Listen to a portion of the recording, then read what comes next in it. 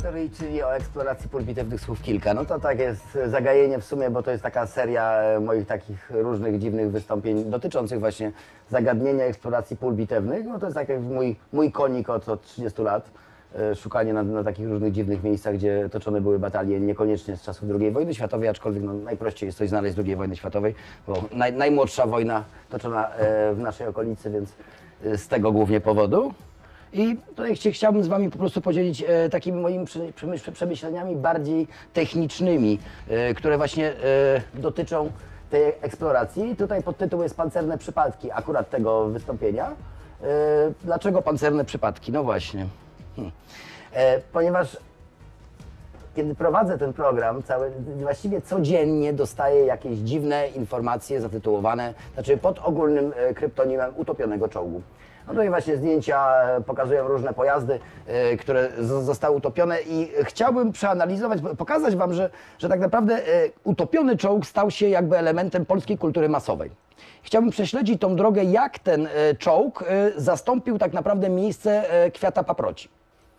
Kwiat paproci w pewnym momencie ustąpił miejsca niemieckiemu czołgowi. Jak to się sta- stało? Chciałbym to rozebrać na, na czynniki pierwsze, ponieważ zawsze zastanawiałem się, jak to się stało, a nic się nie dzieje przypadkiem. Więc tutaj też wydaje mi się, że możemy znaleźć tu pewną prawidłowość w tych historiach. Yy, tu jest ten na przykład jako yy, to taka dygresja ogólnie rzecz biorąc. Zobaczcie tutaj to zdjęcie w samym środku. To jest słynne zdjęcie, które zaprzątało uwagę na forum odkrywcy, no myślę, że jakieś tam 7-8 lat temu. Yy, to jest zdjęcie zrobione pod Blondmin, czyli pod Błądzimiem w Borach Tucholskich niemieckiego czołgu, który sobie tak o właśnie siedzi. Y, Przez kilka miesięcy wszyscy bili pianę i się zastanawiali, porównywali tutaj te, te kadry, gdzie to właściwie jest i że odnajdą, że już właściwie namierzyli to miejsce i ten czołg tam na pewno leży. I co się okazało? E, Gdyby e, wzięli sobie książkę e, niemiecką Panzer an der Weichsel w polskim tłumaczeniu Pantery nad Wisłą, która wtedy jeszcze nie była dostępna w polskim tłumaczeniu, znaleźliby też to zdjęcie, a jak przewrócili stronę, to by się okazało, że jest drugie zdjęcie, na którym za pomocą dwóch ciągników jest ten pojazd wy, wydobywany z, te, z tego błotka, więc go tam po prostu nie ma. Natomiast zdjęcie rozpaliło wyobraźnię i już naprawdę były hordy ludzi, którzy chcieli e, ten pojazd znaleźć. Tu jest drugie zdjęcie, e, to jest z kolei zdjęcie Befehlswagenu, czyli pojazdu dowodzenia, to tam z aluminiową lufą, atrapą lufy właśnie który sobie leży.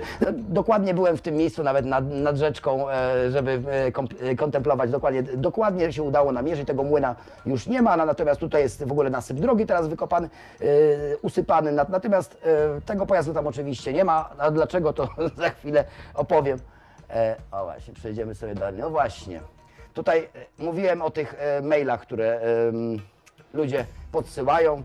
Tutaj naprawdę są to kiepsko, kiepsko widoczne, za małą czcionkę da- dałem.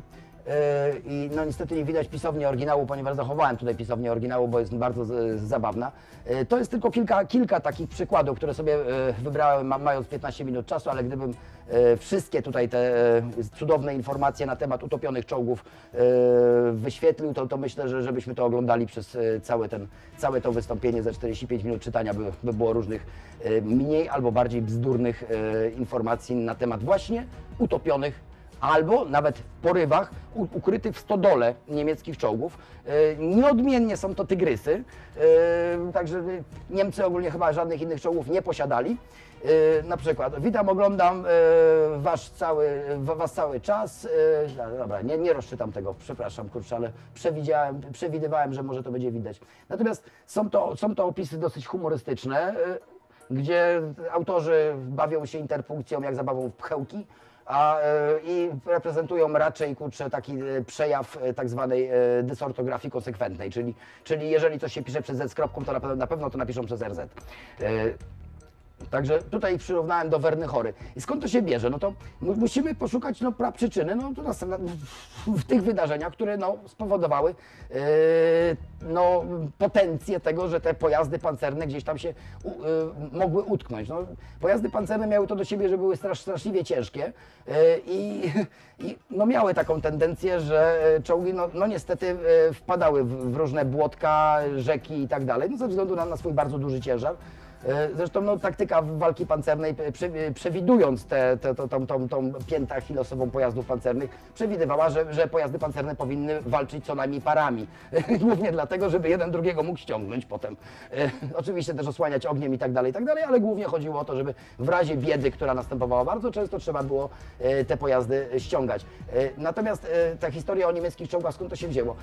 Niemcy, zobaczcie, że tak naprawdę walki na terenie dzisiejszej Polski toczone no, głównie te, te walki pancerne, no, to jest styczeń 45 rok, wi- wielka ofensywa styczniowa, największa operacja e, wojskowa w dziejach ludzkości, gdzie e, tak naprawdę no, po tej lepie leniwej e, w roku 1900, latem 44 w czasie operacji Bagration, kiedy tak na, Bogiem a prawdą to Wehrmacht poniósł największą klęskę chyba w całej swojej historii, będąc potem, znaczy w wyniku tej, tej ofensywy uciekając od Bobruiska aż pod Warszawę, czyli 800 kilometrów Nie- Niemcy stracili e, na własne życzenia, a Rosjanie dosłownie teleportowali się na tym dystansie. Niemcy tracili teren. Niemcy nie byli w stanie tych pojazdów odzyskiwać, ponieważ no, były specjalne regulaminy do odzyskiwania sprzętu. Nawet jeżeli pojazd był nieruchomiony, no to on zawsze przejawiał jakąś możliwość odzysku części chociażby, albo całego pojazdu. No jeżeli pojazdy były spalone, no to e, z reguły były spisywane na straty jako takie kadłuby, no, natomiast elementy, które dało się wykorzystać, były odzyskiwane przez służby tyłowe, no, które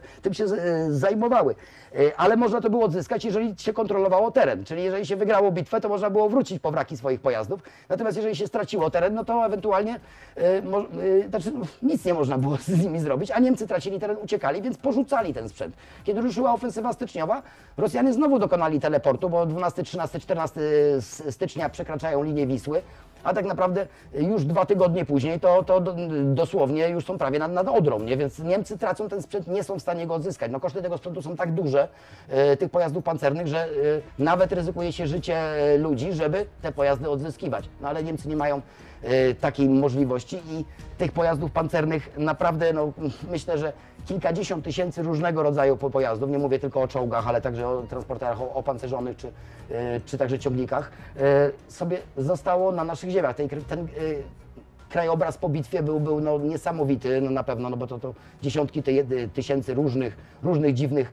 kląkrów y, porzuconych wszędzie. Ludzie, tak naprawdę, jaki był, był stosunek lu- ludzi do tego, no to, to przypominało wojnę. Ludzie mieli dosyć tej wojny. Po sześciu latach tego, że albo jedni, albo drudzy przebiegali przez dom i strzelali do siebie, a w międzyczasie jeszcze prowadzili eksterminację jednych albo drugich, y, to naprawdę mogło się y, odbić bardzo negatywnie na, na tym jakiejś sympatii do jakiegokolwiek sprzętu, który kojarzył się z wojskiem, wojną i tak dalej.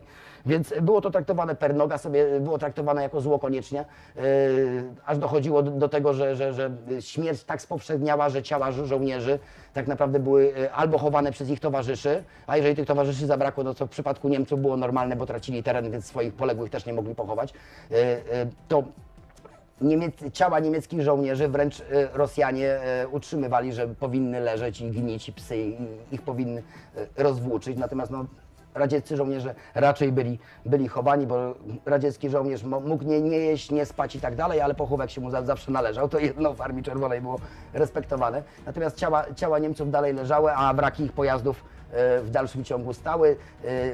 Jeżeli, no właśnie, ten pierwszy odzysk pojazdów następował w trakcie działań wojennych, bo nie ukrywajmy, to jest fajne zdjęcie, radzieccy żołnierze noszą, no zobaczcie, kurde, na, jednego żołnierza przypada no, kilka y, jednostek broni, to jest po prostu broń zebrana z pola walki, tutaj na ramieniu Rosjanin y, trzyma, tu widać charakterystyczną osłonę lufy od MG-34. Y, Był prowadzony odzysk sprzętu, ta, także wroga, jeżeli ten sprzęt przejawiał jakąś szansę, znaczy był, był sprawny po, po prostu, to Rosjanie też nie cofali się przed e, em, zajmowaniem niemieckich pojazdów pancernych. Jeżeli były na chodzie oczywiście, albo no, wymagały jakiejś niewielkiej naprawy, trzeba było akumulator z, zmienić, e, albo, albo napiąć z powrotem gąsienicę, to, to oczywiście tak robili. Robili wyjątki te, tylko dla dużych niemieckich pojazdów, czyli dla oszukanego czołgu e, średniego e, e, Pantery, który tak naprawdę jest pojazdem, jest, jest czołgiem średnim oszukanym, ponieważ ta, Bogiem a prawdą to jest niewiele mniejszy od, od, od Tygrysa, a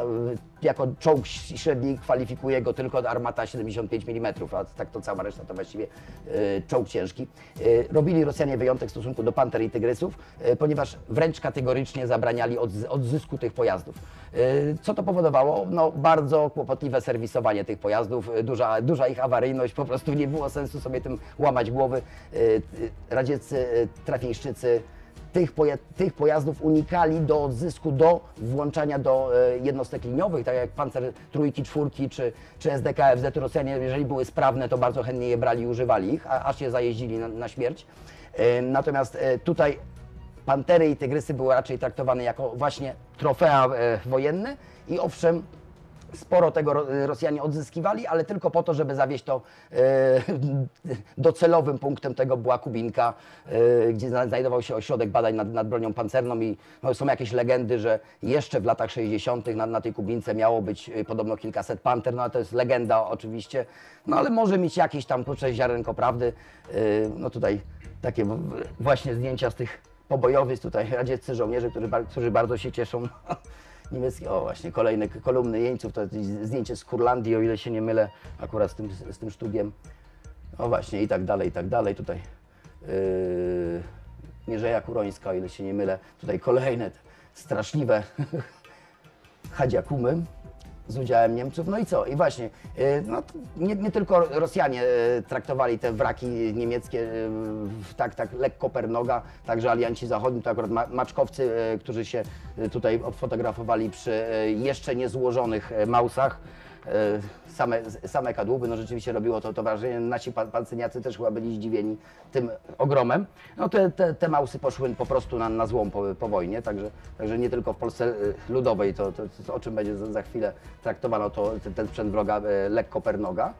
Y, Ale no właśnie, no, per, per noga, aczkolwiek tak jak mówiłem, sprzęt niemiecki był, y, służył w linii, jeżeli był sprawny. No tutaj mamy, mamy zdjęcie y, naszych żo- żołnierzy z, z roku 1945, którzy sobie stoją na niemieckim czołgu, który służył w, dokładnie w 5 Dywizjonie Artylerii Przeciwpancernej 6 Dywizji. Tutaj widzimy słynne zdjęcie, o tutaj z tyłu widać małego, małego mausika, który jest właśnie wiedziony na Kubinkę przez Rosjan. Y, A tutaj na przykład a, a propos tego odzysku części, na tym zdjęciu to rzeczywiście kiepsko widać, jak to się powiększy to kiepsko widać, ale zobaczcie y, tego teciaka, który y, wszystkie kółka, wszystko ładnie w porządku, a zobaczcie to środkowe kółko, to jest koło od Pantery. Gąsienica się lekko tak, tak odgina. No można, można. Ja nie wiem, nie mam bladego pojęcia, nigdy w tym, w, tym- nie siedziałem, czy tutaj, czy piasty pasowały, czy trzeba było z, zrobić jakieś dystanse, no ale no, potrzeba matką wynalazków, no, najwyraźniej można sobie było z tym poradzić. I co, no... I, I radzono sobie. No, na przykład tutaj jest słynna historia Szwedzi. Wymyślili, że Tygrysa dwójkę sobie wezmą na poligon i będą go testować. I to jest historia z roku, e, z przełomu roku 46-47, kiedy Szwedzi to wymyślili, że sprowadzą prawdopodobnie z Francji yy, pojazd yy, Tygrysa dwójkę, który był w miarę sprawny do, właśnie do testów.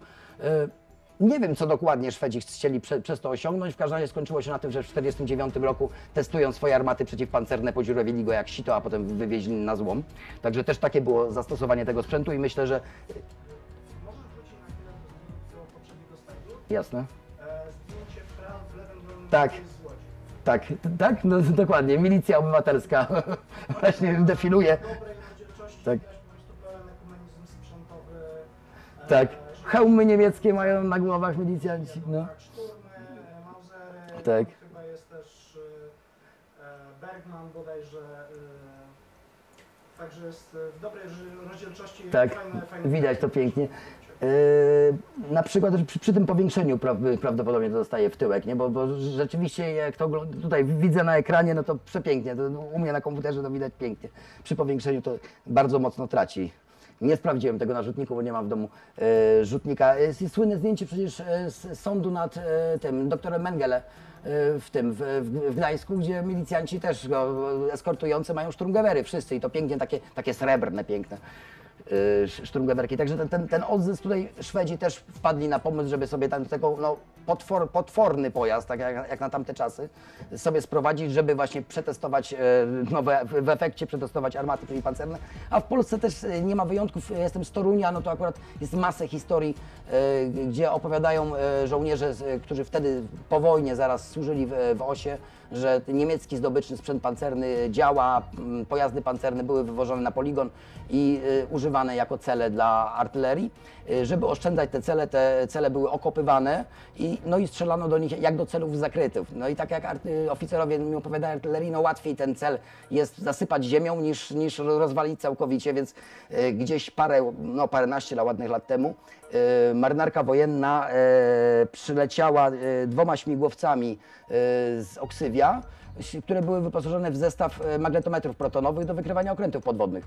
E, I włączyli te urządzenia nad poligonem w Toruniu, namierzyli e, z tego, co opowiadali, 8 anomalii wielkości okrętu podwodnego na, na, toruńskim poligonie, także możliwe, że coś, coś o tym za, zasypanym sprzęcie jest tutaj na, na rzeczy. Na pewno olbrzymie ilości skrzyń z amunicją i bronią też rzeczywiście na tym poligonie były wyciągane, więc czemu nie działa i czołgi? Tym bardziej, że garnizon Torunia w roku 1945, kiedy no, na przełomie stycznia i, i lutego wycofywał się z miasta, e, Otto von Lüdecke, komendant twierdzy, e, żeby nie spowalniać marszu e, kolumn garnizonu toruńskiego, nakazał pozostawienie całej artylerii w mieście, czyli 266 co najmniej lufdział zostało w mieście. Oczywiście były pe- pewnie poniszczone, natomiast na, pewno nie, nie były to zniszczenia krytyczne. E, Także gdzieś to musiało powędrować, prawdopodobnie właśnie na poligonie w, Toruniu. Teraz pewnie gdzieś to leży na rubieżach ognia, gdzie nawet ciężko z wykrywaczem wejść, bo tam rzeczywiście gonią. In- Inne rejony poligonu są, są łatwo dostępne, a tam jest, tam jest ciężko. Co robiono także z tymi pojazdami? Zobaczcie, to jest Pantera z Bovington.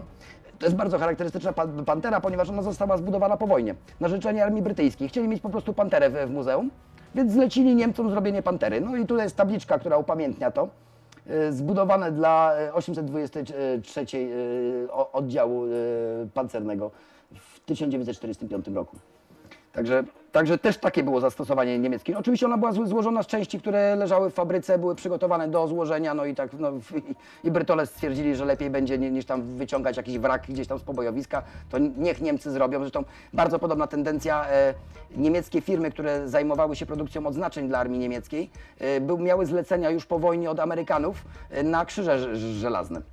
Amerykańscy żołnierze chcieli sobie z frontu przywieźć krzyże żelazne i one osiągały dosyć dobre ceny yy, dla, dla Amerykanów, więc te firmy jeszcze po wojnie produkowały krzyże żelazne, które miały być suwenirami yy, z kontynentu dla amerykańskich żołnierzy. Także no, no, właśnie ta, ta pantera też się tutaj wpisuje w, ten, w tą poetykę.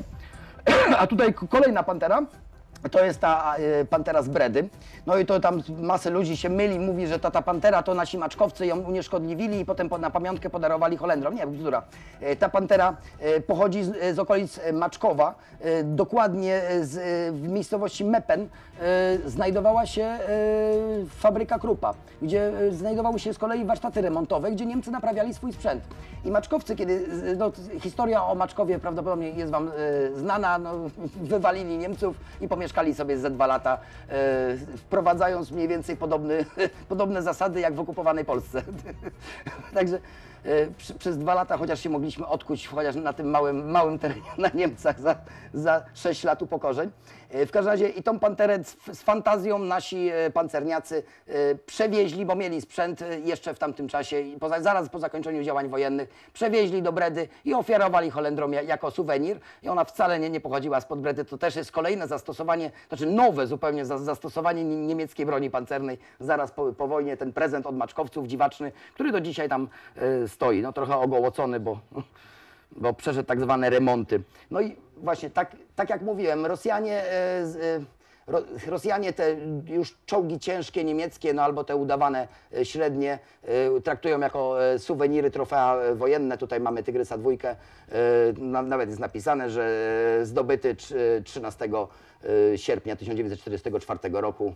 No to jest nawet przez 53. e, Brygadę Pancerną Armii Czer- Czerwonej. To jest oczywiście już wtórne malowanie, no, natomiast ten pierwotne to, to malowanie, kiedy to wylądowało na Kubince, wyglądało tak samo. To jest odtworzone w tej chwili w parku Patriot, zwanym także Parkiem Putin.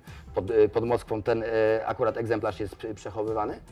No właśnie. Y, Takie było te, te pierwsze jakieś zastosowanie, jak, jakieś adaptacje tego, tego sprzętu niemieckiego. No to mówię y, głównie jako cele dla artylerii, y, jako pomniki, y, jako pamiątki, y, no przynajmniej y, brane sobie przez państwa, których istniała jakaś tam świadomość, że ten sprzęt wroga też jest ważny, bo może kiedyś ktoś by chciał to zobaczyć w muzeum.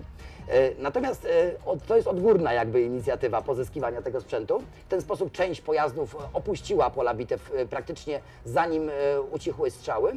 Y, Natomiast jak już ucichły strzały i można było sobie wejść na pole bitwy, to prywatna inicjatywa y, dała o sobie znać. Właśnie, Polak potrafi. E, Sprzęt wojskowy był do, do, dosłownie no, ad, adoptowany do zupełnie nowych celów. Bardzo, bardzo mi się podoba ten, ten chwyt ode mnie 442 sz- sz- szczególnie. No to wozy, różnego rodzaju bryczki, no z reguły miały, miały E, Tutaj, e, tutaj widzimy ogniwo od e, ty- Tygrysa dwójki, które służy jako na- nadproże. To miejscowość Lisów do dzisiaj to je, jeszcze jest. Tam w Lisowie mieszka taki dziadek, nie mieszkał, przepraszam, świętej pamięci już zmarł ten pan. E, Ten pan opowiadał historię, jak to było. Bitwa pancerna pod Lisowem to, to jest właściwie temat do nakręcenia filmu e, wojennego, bo to jest taki ty- typowa, mógłby posłużyć jako kanwa, dlatego e, to tak mniej więcej w bardzo dużym skrócie, uproszczeniu wyglądało, że Niemcy wykombinowali sobie, że znajdował się tam styk dwóch radzieckich armii. Więc Niemcy wykombinowali, że jeżeli tam się wpierniczą dywizją pancerną, jeszcze batalionem czołgów ciężkich, to dokonają wyłomu we- froncie, opóźnią marsz Armii Czerwonej. I tak pomyśleli, tak zrobili. Regulamin walk pancernych u Niemców wyglądał tak, że przed takim planowanym uderzeniem trzeba było wysłać zwiat. No więc Niemcy wysłali zwiat. Nie mieli bladego pojęcia, że w tym Lisowie siedzą sobie Rosjanie. E, Ten zwiad wjechał do Lisowa, Rosjanie nie byli głupi, czekali aż, aż Niemcy wjadą, no po czym kurczę, większość tego zwiadu po prostu dostała się do radzieckiej niewoli, a dowódca zwiadu okazał się niezwykle rozmowny. E, Kiedy Rosjanie już wykapowali, co się dzieje, że prosto na ich brygadę idzie cała niemiecka dywizja pancerna, do tego jeszcze batalion czołgów ciężkich, złożony głównie z tygrysów dwójek, natychmiast e, wysłali radiogram do, do sztabu, co robić, no kurde, ratujcie nas. A co sztab powiedział? To co zwykle mówi się w filmach wojennych, wytrwajcie. No więc e, tam teren jest bardzo pofałdowany, kupę rzeczek, domów, zagród i tak dalej. Bardzo łatwy do obrony, jeżeli wróg nie spodziewa się tego, że tam czeka na, na niego pułapka. I Rosjanie, no, ja- jako że no, ustępowali w, ilości sprzętu ludzi Niemcom, no więc postanowili przyczaić się i czekać. Armaty przeciwpancerne, czołgi poustawiali na podwórkach, także niemieckie czołgi wjeżdżając e, w te, te, te uliczki e, m, pomiędzy rzeczkami no, dos- dosłownie trafiały na wyloty luf radzieckich czołgów z odległości 30-40 metrów. Doszło do jatki, do, dosłownie jatki. Ten właśnie e, pan opowiadał tą historię, mówi, e, pokazując na, na te ogniwa, mówi, ten czołg spalił mi dom. Opowiada, że no, Niemcy wiedzieli, jak już było naprawdę ciężko w tym Lisowie, trzeba było spierniczać do lasu. Las był, był e, ratunkiem i Tygrys dwójka e, podjechał do domu, ostrzelał strzechę w domu. E, Prawdopodobnie chodziło o zadymienie pola walki, żeby, żeby po prostu uciec pod, pod osłoną dymu płonącego domu. No to nie chodziło o to, że oni tacy byli perfidni ze złości, spalili Polakom dom. No efekt był taki, że, że no, ludzie stracili dom, wybiegli przed ten dom, jak się strzecha zaczęła palić. I ten dziadek mówi tak, i patrzyłem na ten czołg, jak uciekał w stronę tego lasu i mówi, żebyś ty, synu, nie dojechał do tego lasu, żebyś ty nie dojechał. I mówi, i nie dojechał. I mówi, i ten, ten czołg spalił mi dom, a ja z niego zbudowałem drugi. I to do dzisiaj tam jest. Tam było więcej domów, bo tam taka mo- moda była, że budowano krzyże przydrożne właśnie z luf czołgów i innych takich różnych rzeczy w stylu pancerfausty i ogony armat, yy, czy tam koła na- napędowe od, od, od, od dużych kotów. Yy, Natomiast tam bardzo dużo domów miało te nadproża, no wiele z tych nadproży, jako że no, pan Crompton i pan, pan Whitcroft bardzo są zainteresowani częściami pancernymi, a szczególnie dużych kotów, więc dużo z tego wyjechało yy, z Polski, dużo tych, tych nadproży zostało skutych, natomiast tutaj w tym jednym domu w dalszym cią- ciągu te nadproża są. Dom znajduje się obok krzyża zrobionego z armaty od T-34, także jeżeli by- byście przyjeżdżali, to jest pod Kielcami, miejscowość e, Lisów, Wiedźcie, to, to, to zobaczycie, to tam dalej jest. No tutaj oczywiście to takie zastosowania, że te nocniki to są słynne, kurczę, to chyba w Holandii, nie w Holandii, w w Norwegii chyba wymyślono, żeby, że- żeby właśnie w ten sposób spożytkować nie, niemieckie hełmy. Tutaj świetny, kurczę, bagnet przekuty, zrobiony z niego, to taki, e, to taki przyrząd do wybierania e, zabrudzeń z kopyt końskich, o, o, ile, o ile mnie tam ktoś poinformował. Ale wspaniały, ja chciałem to od gościa kupić w ogóle, mi przysłał zdjęcie, a on myślał, że ja się na ten bagnet napaliłem. Mówię, to, słuchaj, słuchaj, to jest trupieszały, kurde, tak zwany postrach chlewika, kurczę. Ten- bagnet to, wartość to mają okładki i śrubki od nich, nie, od niego. I chciałem od niego mówić, stary, dam taki bagnet, taki kolekcjonerski za to, bo zbieram właśnie takie, takie relikty tego wtórnego użycia sprzętu wojskowego. No nie, on sobie pomyślał, że to chyba jest jakiś, nie wiem, biały kruk wśród bagnetów, a nie zwyczajny S84 na 98. No i nie udało się, kurczę, także to, o, to jest moje ulubione zdjęcie, ja je kocham po prostu. Chcę, kocham to zdjęcie i chcę mieć z nim dzieci. Yy, co można zrobić z Kibelwagenem? Kurczę, no, on, Kibelwagen o napędzie jednego konia, kurczę, tym razem nie mechanicznego. No to, a to chyba, właśnie nie wiem skąd jest to zdjęcie, ale chyba nie jest z Polski. Tak mi się wydaje, że jakiś Czech chyba. Czy coś w tym rodzaju, no ale w polskim stylu trzeba powiedzieć, że dusza słowiańska to na pewno coś tam. E, I to wszystko, o tutaj jest wspaniałe, zobaczcie, kurczę, e, e, pocisk 88 mm od KWK 43, e, z którego dowcipni sobie zrobił ten obciążnik do szczotki kominiarskiej. No można. E, A tutaj ten, ten, ten, ta śruba od tej szczotki jest wkręcona w wejście zapalnika dennego, nie kurczę, także, także naprawdę. Tutaj e, to jest taki też pod Kielcami, jest sobie mostek, e, to jest dokładnie dupisko od sztucha. Znaczy no, sztuki sztuch miały takie samo, no ale inne rzeczy zostały w okolicy znalezione, to był sztuch akurat. I to jest mostek zrobiony, taki jest jakiś rowek melioracyjny, by, byle jak. Ja tam pojechałem, chłopaki mi to chcieli pokazać tylko podszedłem do tego mostku, to od razu przyleciało trzech obywateli i się pyta, pytają, pytają, co ja tutaj robię. Bo już były próby zabrania tego i były próby też no, jakoś wyjednania, że my wam zrobimy, nie wiem, jakoś betonowy, beton tam tutaj przywieziemy czy coś. Nie ma mowy, to jest ich mostek i koniec, nie? Także ja bardzo to, to, to szanuję. Ja powiem szczerze, że ja to szanuję. Takie relikty, które są jakimiś pomnikami, one dla mnie są jakby pomnikami tamtych wydarzeń, nie? Że ja oczywiście rozumiem, że ktoś chce tam po, to potem pospawać, zrobić tak zwane Lego, no i otworzyć tego pojazd pancerny, ale myślę, że z tej dupy od sztucha to się nie zrobi tego pojazdu pancernego, a, a myślę, że gdyby pojechać do Centrostalu, to można zamówić taką płytę i do, docięcie plazmą i myślę, że to by byłoby dużo tańsze niż odzyskiwanie od tych ludzi tego, tego, te, tego tyłka, no ale to już tam swoją drogą. Rozumiem, że żeby tam było pół pojazdu albo coś w tym rodzaju, to, to, to, to jeszcze potrafię zrozumieć, ale tutaj, no właśnie, a tutaj o, pod Kielcami robiliśmy program, tutaj jest kurczę rama od SDKFZ 251, która służyła, była e, przylana asfaltem i służyła jako szalowanie dla przepustu pod drogą. I tutaj robotnicy stwierdzili, że znaczy mia, miano ten przepust e, w ogóle e, naprawiać. No i robotnicy jak zaczęli rozkuwać drogę, żeby zrobić nowy przepust, bo nie wiedzieli, że tam ta, ta rama jest, trafili na jakieś blastysko. I kątówką się nie chciało tego jakoś to, to przeciąć, coś to grube blafisko było i zajmowało dużo miejsca. I wtedy yy, się okazało, że w tej akurat miejscowości, bo to jest yy, nomen omen rama z Radomic. Miejscowość Radomice się nazywa pod, pod Kielcami. Akurat w Radomicach mieszkał starosta yy, kielecki. I udało się nam go tak opętać, yy, że starosta Kielecki stwierdził, że aha, bo oni nie mogli tego przepustu zrobić tam, gdzie było przewidziane projektem, więc zrobili ten przepust dwa metry obok, niezgodnie z projektem, więc starosta jako reklamację zarządził wywalenie tego, bo tak naprawdę jak tam przyjechaliśmy, to wszystko było skute i właściwie drugi przepust już był gotowy. I udało się odzyskać tą ramę, ona jest teraz w Muzeum Orła Białego, a jak chłopaki zaczęli chodzić po obejściach w okolicy, na to jest osłona od e, skrzyni biegów, od, od tego